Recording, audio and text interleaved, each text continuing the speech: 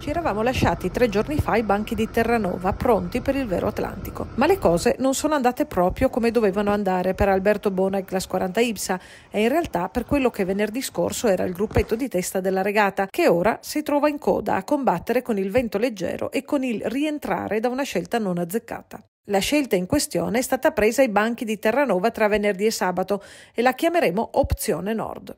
All'epoca si rivelava promettente, ma non ha funzionato, relegando alcuni tra i big della regata, compresi tutti e tre gli equipaggi italiani, nella seconda metà della classifica.